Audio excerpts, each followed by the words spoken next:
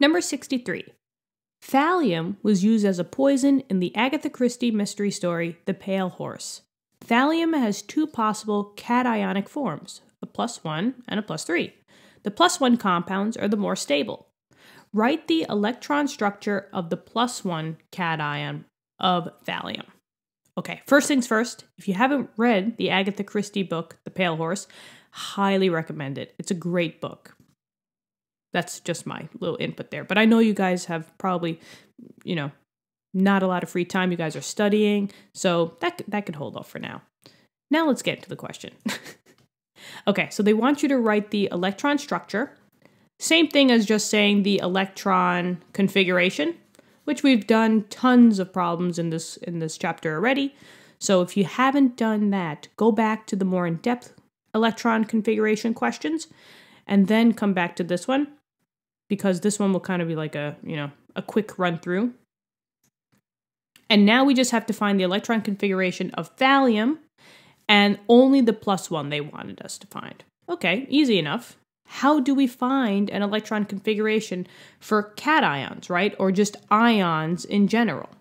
Well, two steps. The first thing you're going to do is you're going to pretend that the ion, or the cation in this case, the positive, doesn't exist. So you're going to write the electron configuration, the EC, for the atom.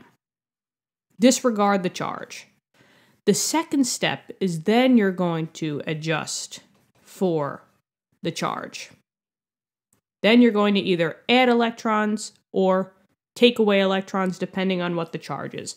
So right now, I'm going to put TL, because that's thallium, plus 1, but I'm going to write it as if there was no charge. So, first things first, thallium is number 81 on the periodic table. It's all the way down there. So, we got a long way to go for writing this electronic structure, right? Now, another thing is we should know the groupings of the S, P's, and D subshells, right? Here are where your electrons are in your S subshells. Here are where your electrons are for your Ds. Here is your electrons for the P's, and here is your electrons for where the F subshells are.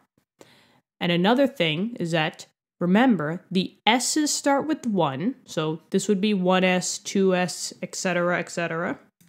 I'm just putting 1s up here. This would be the 2p, p start with 2, so 2p, 3p, 4p, etc., etc. The D's start with 3, so 3D, 4D, 5D. And then the F's start with 4, so 4F and 5F. Okay, so remember, you got to start with atomic number 1 and go all the way, in this case, to 81, to where thallium is. Long way, but we can do it, right? And remember, for electron configuration or electron structure, helium should be in the S subshell grouping. You can forget about helium being on the right hand side. It's just easier if you put helium next to hydrogen because it is really part of the S subshell. All right, so we start with 1s, and you know what? I think I'm going to just drop it down here because I'm probably going to need all the room that I can get. So 1s, and now how many boxes do we have to pass? Well, we have to pass both hydrogen and helium. Helium is number 2. So that would be 1s2. Now we're over here. Oh, actually, no, we're not. Now we're over here, right? Number 3. Atomic number 3. And that's the 2s. So this would be 2s2. You got to pass both boxes. Then we're at number 5. That's part of the 2p. So I have to pass all of them. So that's a total of 6 electrons. Now we're at number 11 over here. That's the 3s. And we got to pass both boxes. So that's 3s2. Then we're at number 13. So that's the 3p, right? That's all of this. So that's 3p6.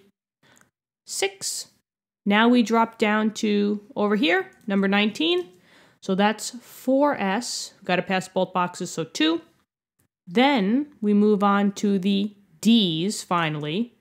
And I got to go all the way this way. So that's 3d10.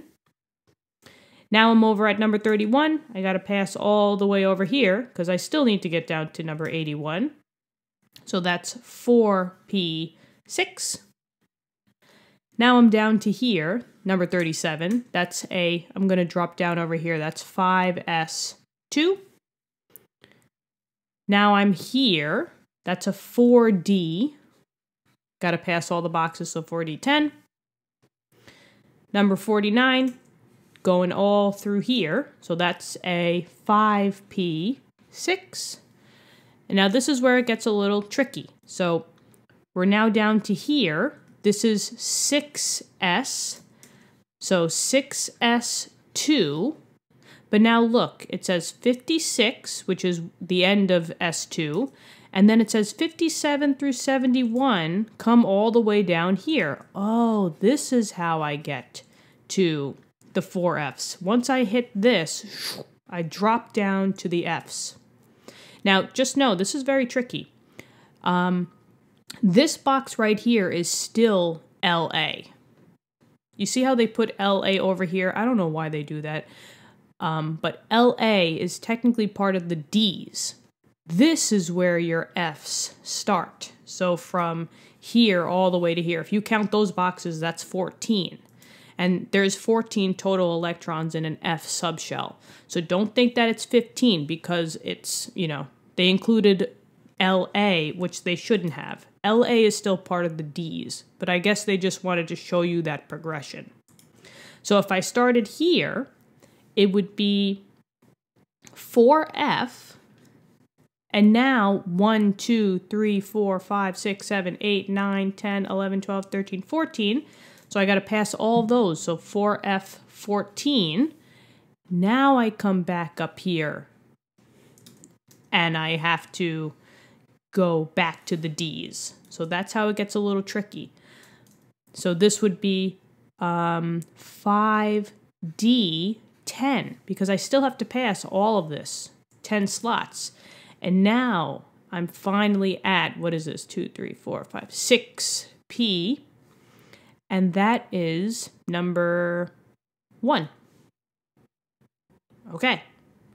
That's without you know, taking into consideration the charges because thallium's right here. This is 6p, and it was the first box, so that's why it's 6p1. Now we have to take into consideration this plus one charge.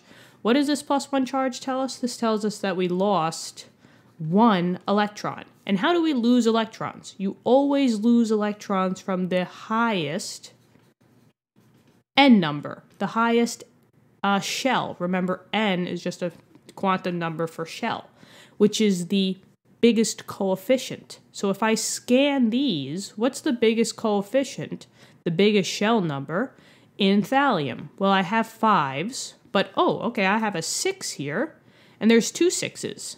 That would be the biggest quantum shell, n equals six. But now, which one am I going to take from? Am I going to take from the S's or am I going to take from the P's? You always take from the highest shell, but then you always work your way from back to front. So basically, what you wrote last is what you will take away. So in this case, I will take away the 6p1. I had one electron here, and I need to lose one electron, so just the entire 6p will get lost. That's it.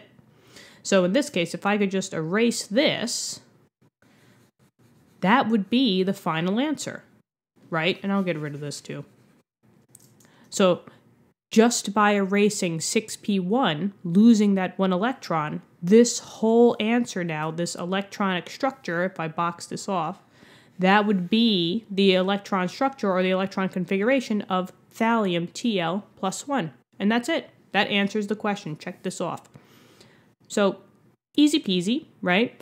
The tricky part was just you had to go into the Fs. But some professors or some teachers don't even have those questions on the test, but they might. Let me know in the comments if you are one of those lucky ones that your teacher makes you go into the F subshell.